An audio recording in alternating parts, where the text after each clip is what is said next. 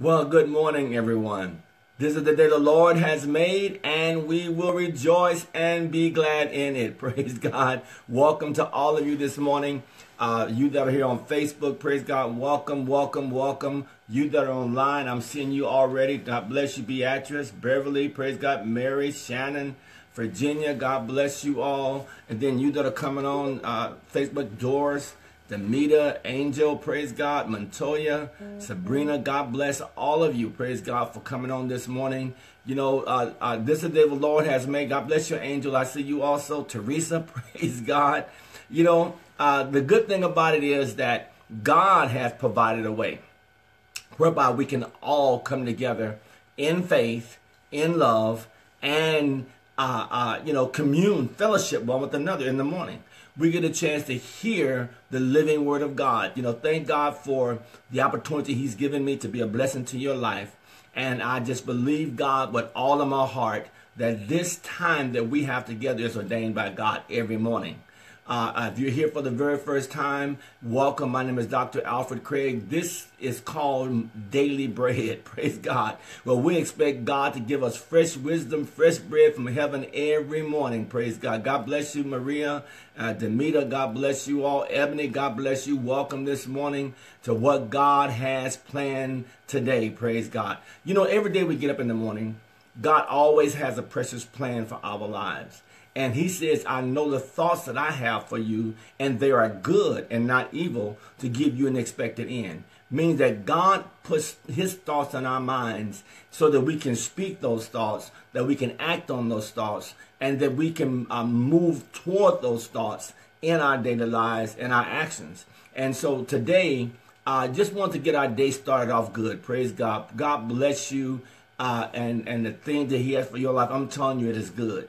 Now, you may have been prophesied to by other people that your life is not going to amount to anything, that that you that you're headed for disaster. You know what I mean? Because you look at your checkbook, I'm headed for disaster. You look at your finances, I'm headed for disaster. You look at your health of your body, I'm headed for disaster. But no, no, no, no. Don't come into agreement with that. Bible said life and death is in the power of your tongue. And and we we can bless our life or we can curse our life by words come out of our mouth. And even though thoughts are there, even though negative situations surround us, but we have to make the decision that God says, I set before you life and death, blessing and cursing. And then he says, choose. He says, choose. He said, you know, you choose. And uh, Proverbs 6 2 says, you're snared by the words of your mouth. So you're not snared by what other people say about you you're snared by what you say about you. Glory to God. And you can come into agreement. Amen. With what God's word declares, and God's word will prevail over any other prophecy that is happening in your life. Glory to God. Your body may be prophesying to you this morning. Your, your wallet may be prophesying to you this morning. Other people's words may be prophesying. But let me tell you something. The only thing that really holds value in your life is the words that you say.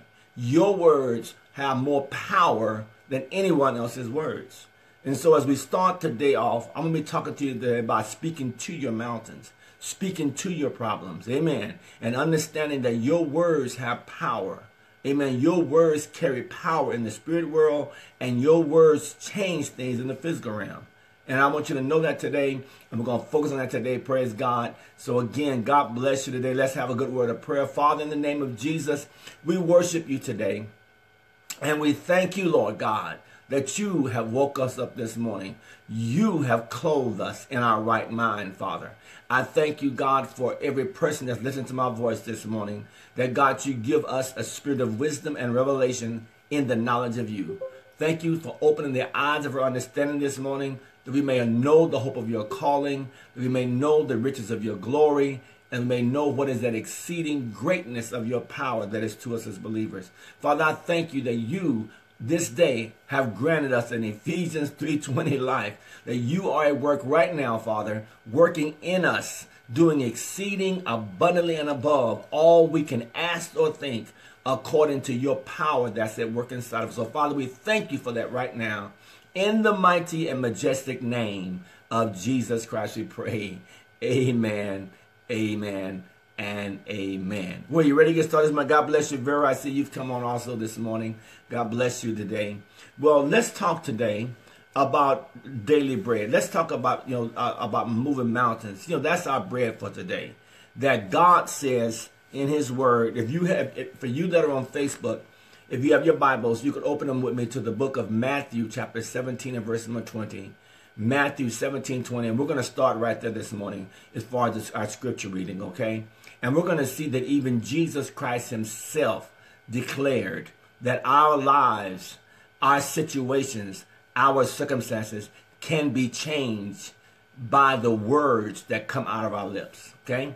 Now, uh, uh, Jesus had just come uh, uh, uh, to this individual who had brought his son to the disciples, and they could not cast the devil out. And the disciples began to ask Jesus, you know, because we, we've experienced things in the past. They began to ask Jesus, Lord, why could not we cast this thing out? Know, in other words, what is hindering our productivity? What's, what's keeping us from being able house success the way you just had success? We tried to cast the devil out. He didn't go out. You cast him out. He went out. What difference did it make? And Jesus is going to point to them an exact thing that's, that caused their lack of success in, in dealing with demonic forces, whether it be sickness, disease, whatever. Look what Jesus said. And Jesus said unto them, Because of your unbelief. For verily I say unto you, if you have faith as a grain of mustard seed, you shall say, no, notice it didn't say you shall think. Notice it didn't say that you shall talk about the problem. It said you shall say unto this mountain, remove hence to yonder place, and it shall remove, and nothing, glory to God, shall be impossible unto you. So Jesus is saying that the thing that determine your what's possible for you or what's impossible is not necessarily God's will in that area, but it's based upon the, your faith and speaking to the situation, not talking about it.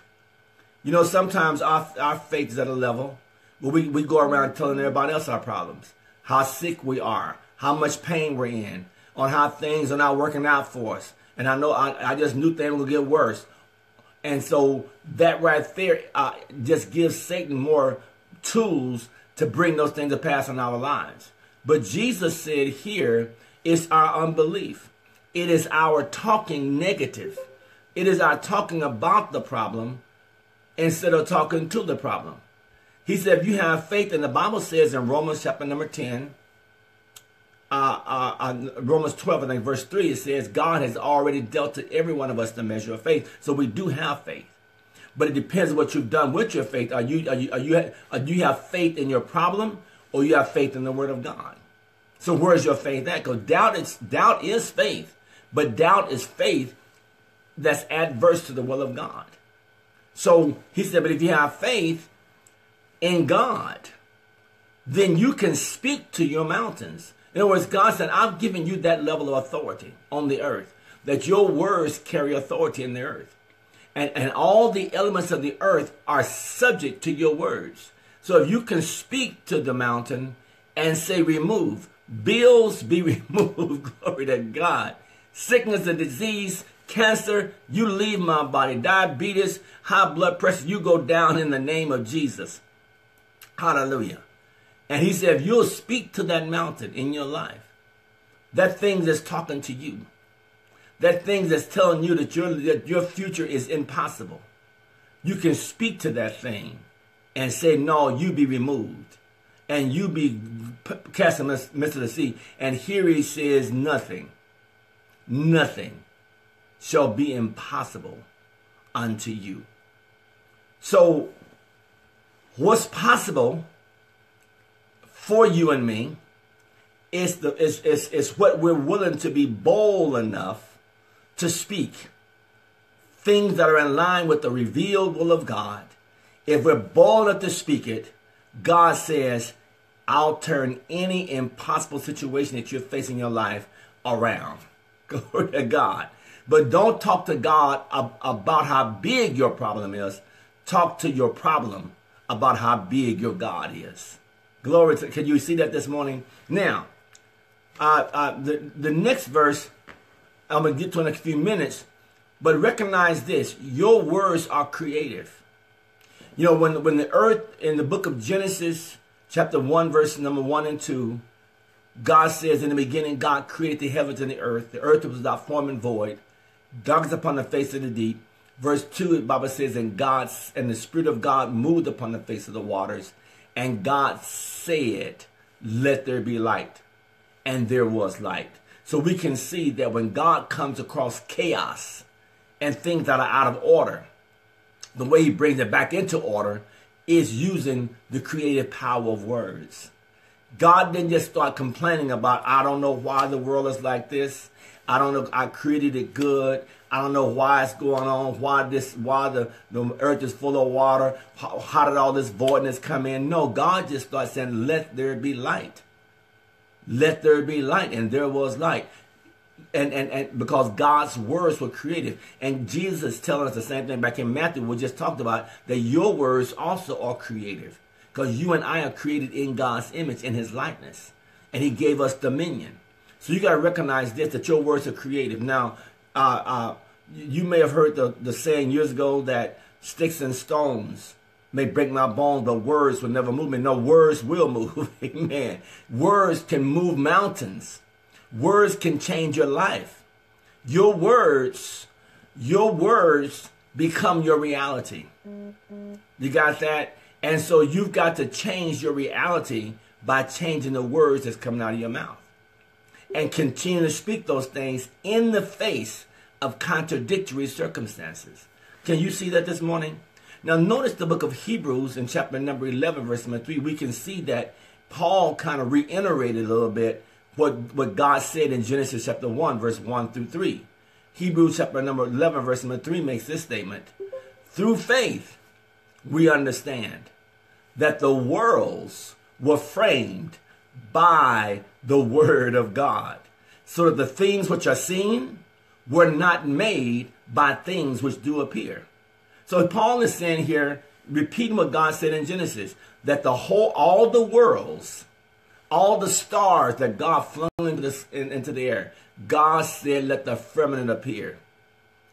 God spoke and said, let the dry land appear. God spoke the stars, the planets to come into being. All of that was framed by the word of God. Genesis chapter 1 constant, and God said, let this happen. And God said, let the let, you know, let the this, let the waters you know settle. God said, let the earth be filled with fish, and God just kept speaking what He wanted to see. So God framed His world with the words. Can I say this today? Also, your world and my world has been also framed by the words that have been coming out of our mouths. I think I like what uh, years ago Joel Osteen's dad had a book out called "You've Been Hung by Your Tongue." There's a miracle in your mouth. Are you following? So we got to recognize that it, says here in Hebrews, everything that we see was not made by things that appears but it was made by the creative power of words. Your future is bright. No weapon formed against you can prosper. But you got to get those words in your mouth. That instead of looking at things getting worse and worse and worse, you got to begin to start confessing. Know the path of the just is as a bright shining light that grows brighter and brighter unto the perfect day. You got to begin to start saying, by Jesus Christ, I am healed. Even though sickness and disease has tried to attack my body. You got to continue to say, my God supplies all my needs according to his riches and glory by Christ Jesus, even though your checkbook is prophesying to you bankruptcy, financial failure. You got in the midst of your circumstances, you got to learn how to speak to your mountain and say, Mountain, be moved in Jesus' name. Glory. Can you receive that this morning? Now, so the whole goal is this stop talking about your mountain, the problem, and start talking to your mountain. You got that? Stop talking about your mountain and start talking to your mountain. Because sometimes we just kind of go from one person to the next, telling them about the mountain that we're facing. Now, nothing wrong with having some counseling. If you feel like you need to talk to someone, I'm gonna talk about that. You know, that's you know, but but do that to one person that that that that'll give you a solution and then get back into talking confession. Because there's nothing wrong with, you know, having someone to talk to and, and opening up to people. There's nothing wrong with that. But don't do that to everybody you see. Do it to your pastor, do it to a, a trusted friend, or you'll follow me, and release all the things that's in you in that area. But after you do that, get back into confession because that person needs to give you some, some solutions to it where you can begin to confess the word of God over your situation. Are you following what today? So you you don't want to continue to go from one person to the next person talking about how bad things are, about how you're failing, your business is failing, your marriage is failing, your kids is on drugs, ain't nothing going to see. You can't go around talking that every day and expect things to change. You got that this morning? Now, I know years ago I, I, have been hurt, you know, and and uh, I've been hurt so many times by different people over the I've been doing this I've been doing ministry for 40 years. I was in business for 20 years, ministry for 40 years. And you know, through the years, you know, you get hurt by different individuals. And you know, uh, you know, because you're human, you get hurt. And for a long time, you know, I carried a lot of that pain. Uh, you'll find in, in those areas. And sometimes I find myself, you know, talking to it, talking about it to other people and and I but I found every time I would talk about it to other people, it just you know it uh, it just hurt me even worse because just opened that thing back up again. It was almost like I was wanting somebody else to hate them too. You know what I mean? Because they hurt me. Or you follow me? But I have to get rid of that because you know what pain is. You know what unforgiveness is. Unforgiveness and talking about is like you know uh, drinking poison and expecting someone to die from it. In other words, you're carrying that poison around in you. You're speaking all that negativity in your life and you're expecting it to change something. It does not change anything. You got that? So you got to go ahead and stop talking about that thing. You know, what they did is over. You got that. You can't change them. You cannot control how people think about you and what they say about you and what they do to you, but you can change your response to that. You got that? When they, when, I like what Michelle Obama said, when they go low, we just go high. When, when they talk negative, we talk positive. When they say you're not going to make it, we say we're going to make it. When they said we're going to fail, we said no weapon formed against me is going to prosper. Every tongue rise against me is going to be condemned. I prosper in the city. I prosper in the field. I'm blessed going in. I'm blessed going out. You got to begin to respond back to those things that people are saying, people are doing to you with the word of God and begin to speak your uh, a new reality into your life. Don't live under the shadow of your past. Don't live under the shadow of your pain. Yes, it hurts when people hurt you. Yes, it does. Yes, it's discouraging when things didn't go right. Yes, it's discouraging. Yes, it's discouraging when your finances are looking terrible. But what's even more discouraging is when you keep talking about it. No, you begin to start saying, I'm coming out in Jesus' name. Glory to God. The blessings uh, of God are on my life. God's favor is on my life. Glory to God. And my set time of favor has come. Glory to God. I am highly favored. I'm victorious. I'm more than a conqueror. Glory to God because I belong to God. You got to come out of that shell, out of that depression, and begin to start speaking faith back into your life again. Begin to speak victory back in your life again. Now, notice what Jesus did he he looked at something that was in, uh, uh, uh, that was uh, that was not productive. This was in the book of Mark, chapter number eleven, and verse number twelve. Mark chapter eleven and verse number twelve. You have your Bibles open, and Jesus came to this fig tree that was unproductive. Now he could have started talking about the fig tree, about how unproductive it was, and why it should not have been uh, should have been productive. He should have tried to he could have tried to dissect the possibility of how he can make the tree more productive. But look what Jesus did. Mark chapter 11 verse 12 says, And on the morrow when they were come from Bethany, he was hungry.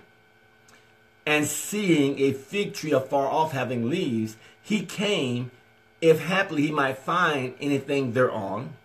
And he came, and when he came to it, he was expecting something on it, because it leaves. He found nothing but leaves, for the time of figs was not yet.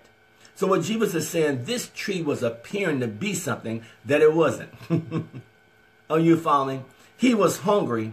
So he went expecting something from that tree. And we do the same thing with people. We, we expect certain relationships to work out. We expect certain jobs to work out. We expect certain things that happen in our lives. But it does not happen like we want it to. Are you following me? It was leaves. It appeared to have fruit. But when I got close to it, it didn't have anything. And that's how relationships are sometimes.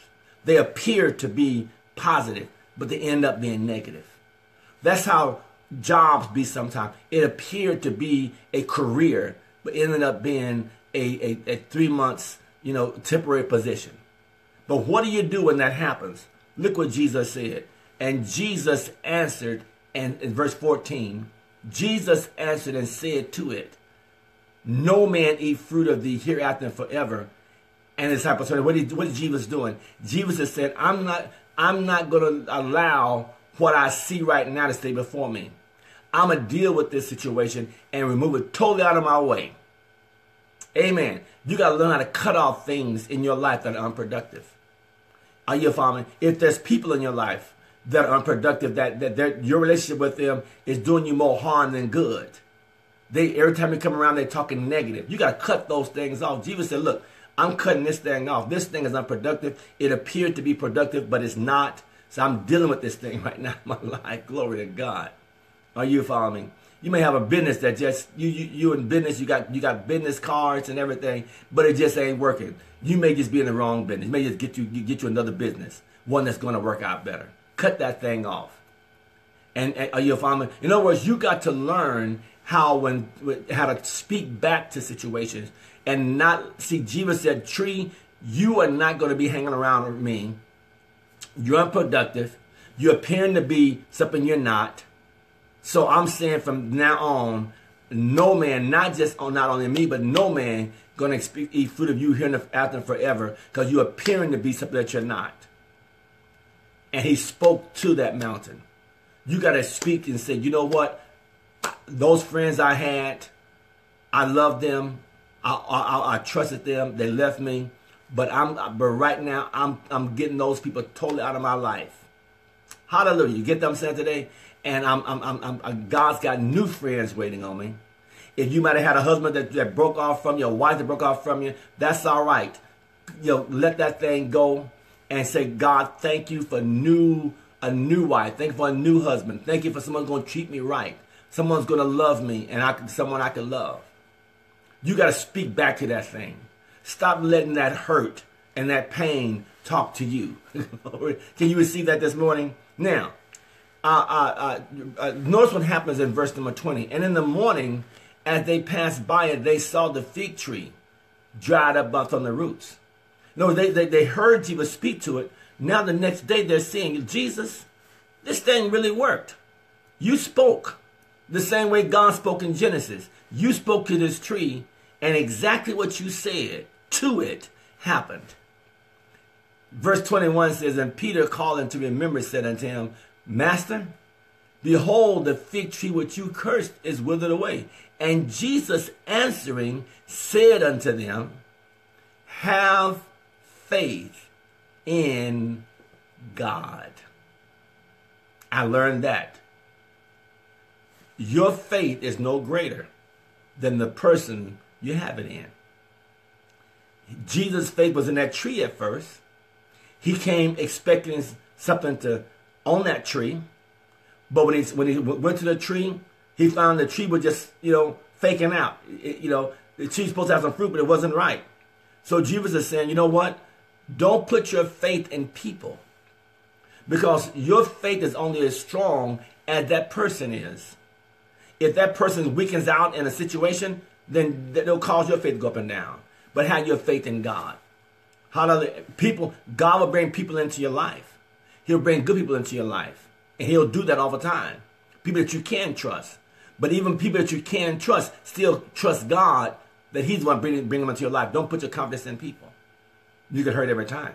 Now, Jesus said, have faith in God. Now, another, another, another word says, another translation says, have the faith of God. And another translation says, Literally says, have the God kind of faith. Have the God kind of faith. And what kind of faith is that? Jesus is going to explain to them the secret. The secret of turning things around your life. The things, the secret of turning unproductive productivity into productivity. The secret of things speaking to you and you talking back to it.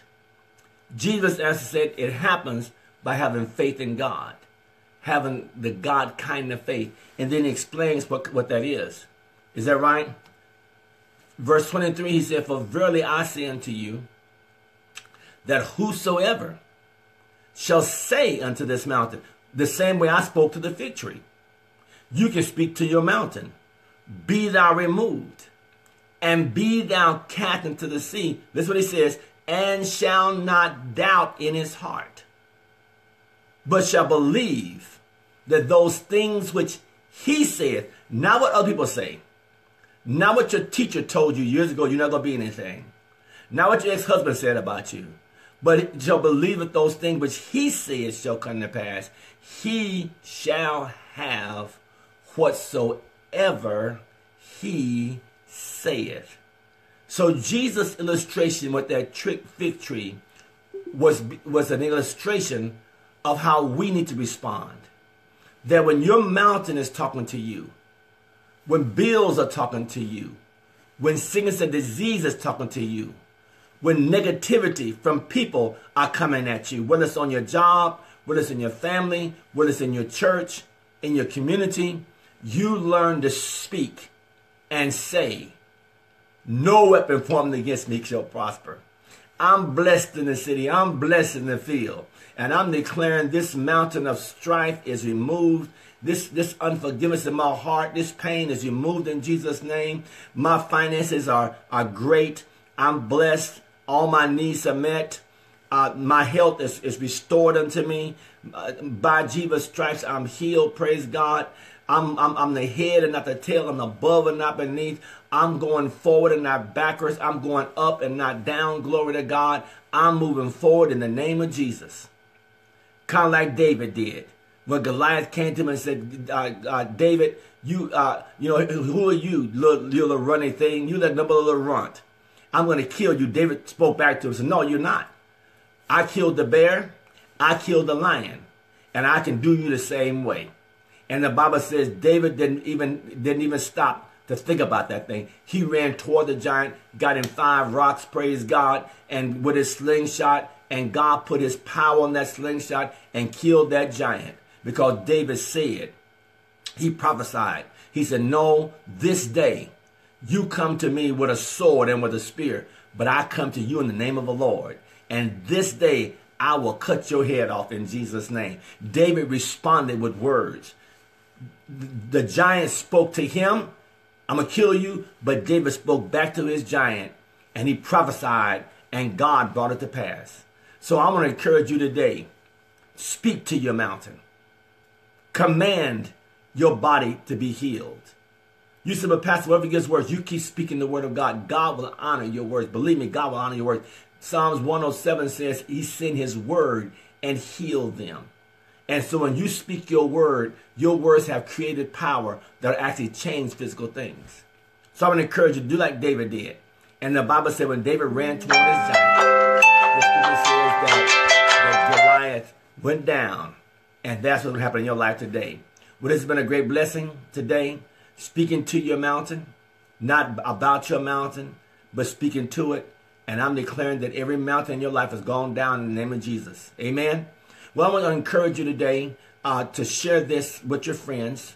You know, on Facebook, share this. Make sure you, you, you, you share it because it's so important that other people hear the same word. It's spreading every day. More people are coming on. Glory to God. So make sure you share, like it, and also give me your comments. I love your comments as you talk to me and things like that. I appreciate your comments and things like that. And then also, you know, again, I'm in full-time ministry. This is what I do for a living. I speak and I encourage people like yourself if you want to be a part of supporting the ministry, sowing into this, if this has been a blessing to your life, one thing God says, you know, He says, bring the tithe and offering to the storehouse. And so if, if you desire to, you know, to partner with me in this and sow a good seed, and, and you don't just, it's not paying a debt because this is free.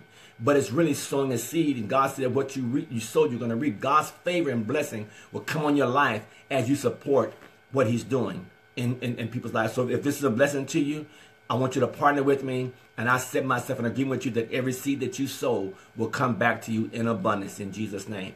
All you got to do is go to PayPal.com. Uh, you look on the on, on, the, on the screen there. I, I wrote out uh, uh, the uh, my, the email. When you go to PayPal, and, and, you put the amount of money you, that God leads you to do, and you send it to iamchurch at gmail.com. Oh, I'm sorry, iamchurch54 at gmail.com. That's iamchurch54 at gmail.com. And I, I set myself an agreement for the financial blessing and favor of God on your life. Well, this has been a great day for you.